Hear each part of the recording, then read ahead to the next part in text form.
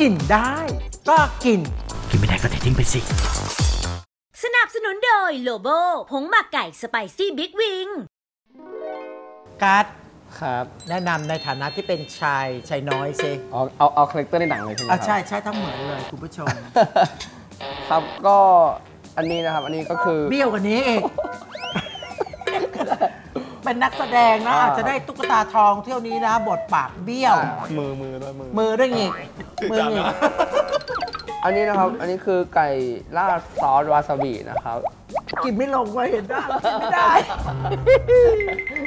อะเธอต้องแนะนำในฐานะที่เธอเป็นเพื่อนพจมานผู้ชายหล่อเก๊กๆหน่อยแล้วก็อ่าอันนี้ไก่ย่างซอสวาซาบินะครับผม ไก่ทอดก็ส่วนผสมก็จะมี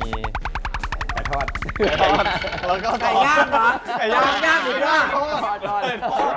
ไก่ทอด ค่ะอาชิมค่ะ คุณผู้ชมไม่มีอะไรจะพิสูจน์ได้นอกจากการชิมท้ายตายคุณผู้ชมมีความสุขมากเลย กินไก่ทอดสูตรเด็ดความผู้ชายหล่อๆ ระดับพระเอกสองคนของหนังพจมานสว่างคาตา ไม่ต้องเราตักเอง ก่อนก่อนไม่ให้เราทำอะไรเลยเหรอ เราตักเองก็ได้อะไม่เอา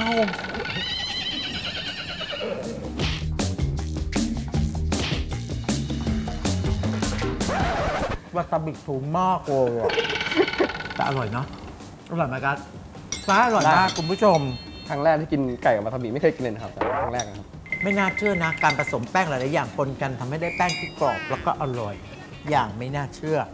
ถามว่าไก่อร่อยไหมไม่มีรสแต่พอเจอวาซาบิของท็อปนะอร่อยอร่อย ชอบมากเลยอะมันท็อตัดปอะความจืดไปได้เลยเออใช่ โอ้ยกินได้ โอเคค่ะ ในฐานะที่ทำแล้วกินได้ผลิตภัณฑ์ไข่ตราเคซีเอฟมอบให้ครับ ทั้งสองท่านเลยครับ ช่วงหน้าอาจารย์ยิ่งศักดิ์จะทำก๋วยเตี๋ยวราดหน้าหมูยอให้สองหนุ่มรับประทานนะครับ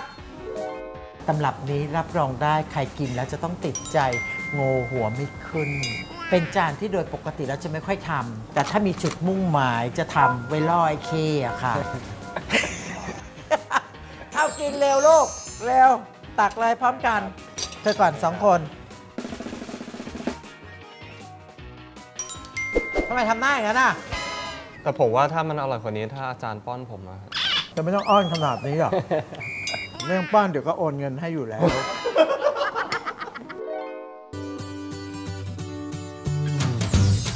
ช่วงอร่อยคู่ครัว สนับสนุนโดยเครื่องครัวสแตนเลสตราหัวมะลาย วันนี้เรามีเมนูก๋วยเตี๋ยวเส้นใหญ่ราดหน้าซุกี้มาฝากค่ะ วิธีทำเส้นราดหน้า ใส่ก๋วยเตี๋ยวเส้นใหญ่และซีอิ๊วดำลงในภาชนะ เคล้าให้เข้ากัน เตรียมไว้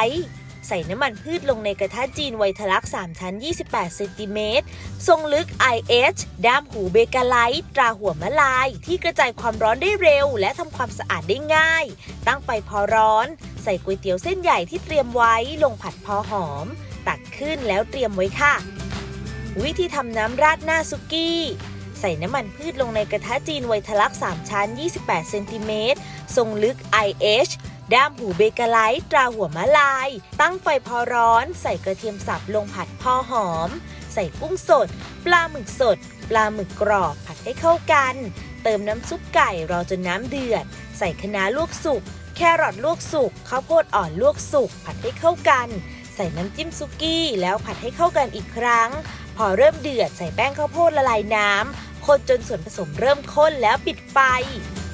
จัดก๋วยเตี๋ยวเส้นใหญ่ที่เตรียมไว้ลงในภาชนะเสิร์ฟ ราดด้วยน้ำราดหน้าซุกี้ ไม่ว่าจะทำเมนูอะไรก็ไม่ใช่เรื่องยากอีกต่อไปค่ะ เพียงแค่มีเครื่องครัวสแตนเลสตราหัวม้าลาย